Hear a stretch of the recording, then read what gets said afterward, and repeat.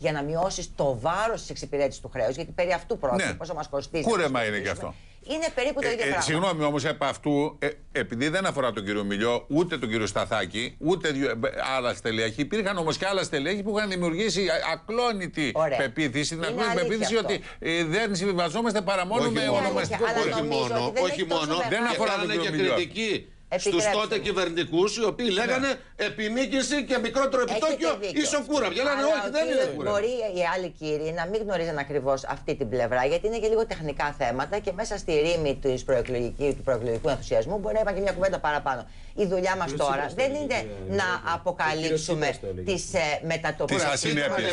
Σωστό, σωστά το βάζει. Τι γίνεται τα ποια εξήγεστε μα το πρέπει εξή στον να κόσμο. δούμε- Τι είναι αυτή η ανταλλαγή ομολόγων.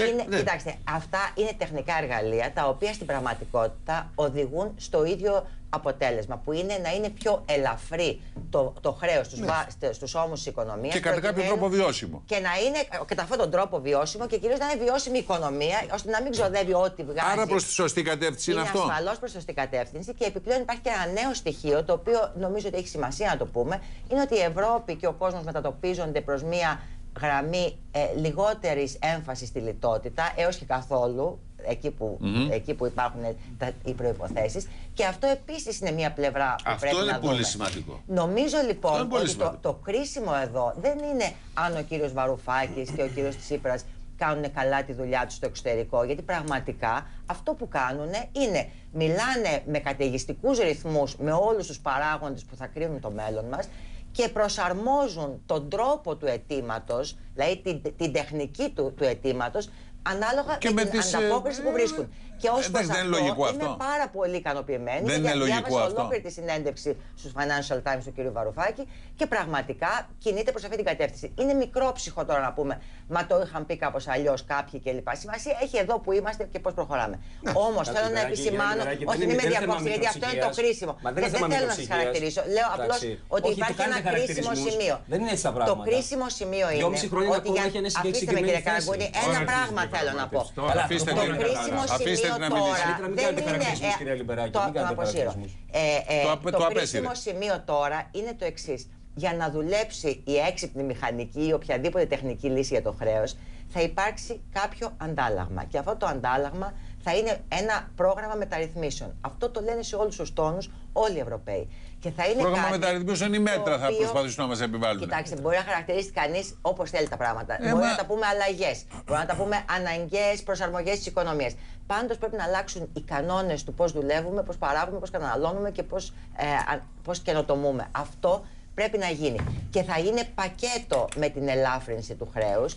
Και νομίζω ότι δεν έχει το χρόνο η κυβέρνηση όπως ήλπιζε να τα συζητήσει τον, τον Ιούνιο αυτά. Γιατί αυτό που εγώ ακούω από την αντίδραση και του Ομπάμα αλλά και των, ε, και των Ευρωπαίων που έχουν συναντήσει ως τώρα τον κύριο Τσίπρα και τον κύριο Βαρουφάκη είναι ότι η περίοδος τεσσάρων μηνών με πόρους, γέφυρα κλπ. στην Ελλάδα αλλά χωρίς ε, σαφήνεια στο τι θα αλλάξει είναι μια περίοδος μακρά η οποία μπορεί να αποσταθεροποιήσει και την ευρύτερη, την παγκόσμια οικονομία, όχι μόνο την ευρωπαϊκή, αν Μάλιστα. δεν λυθεί το τι θα κάνουμε. Ωραία, Άρα ωραία. να περιμένουμε μαζί με την επιτυχία της ελάφρυνσης του χρέους, την οποία τη θεωρώ ε, πολύ καλοδεχούμενη και πάρα πολύ πιθανή, σχεδόν σίγουρη, να περιμένουμε ότι θα πρέπει να διαμορφώσουμε και το, την ατζέντα των αλλαγών, μην τις πούμε μεταρρυθμίσεις, θα τις πούμε όπως θέλετε, αλλά, του, αλλά των αλλαγών του τρόπου που δουλεύει η οικονομία, προκειμένου Προς ποια να κατεύθυνση, στηριχτεί. κύριε Λιμπεράκη μου, προς την νεοφιλελεύθερη ή προς την κρατικοδίαιτη. Ένα από τα δύο ήθελα- να μας Μα πείτε. το Θα έχει ήθελα πει, μα να το σας έχει πω. πει. Κατάλαβες, Ο διότι. Τσίπρας το έχει ε, πει. διότι Ο Τσίπρας το έχει πει. Βιάζονται,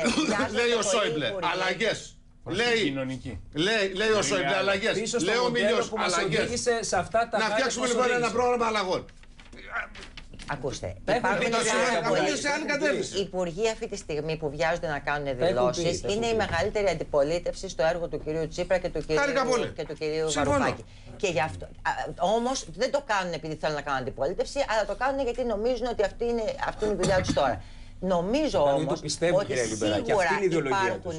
περιπτώσεις πιστεύουν. θεμάτων στα οποία θα συμπλέψουμε όλοι και όλες και οι ξένοι και εμείς, όπως τα θέματα της φοροδιαφυγής, Στη φοροδιαφυγής, τα ωραία. θέματα της ε, διαφθοράς.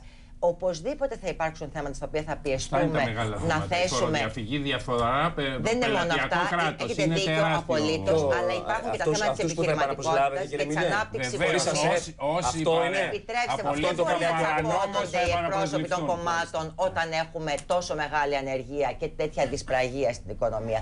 Και άρα και το φορολογικό και τα θέματα της απασχόλησης